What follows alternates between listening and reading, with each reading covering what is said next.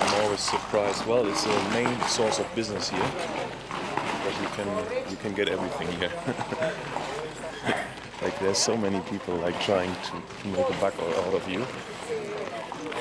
but it's very normal, huh? like it's a very touristy place. Yes. And there's so many people. The horse is having a difficult time of it. Yeah. But it seems used to it.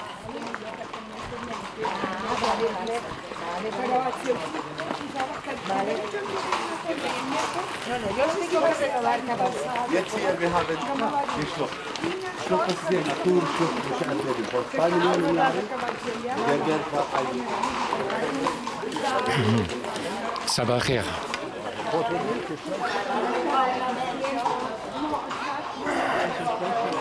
So how did you study Arabic in Canada? Or? No, in Nablus. Well, yes, I, I had four lessons from a friend in, uh, in uh, Montreal before I came to prepare.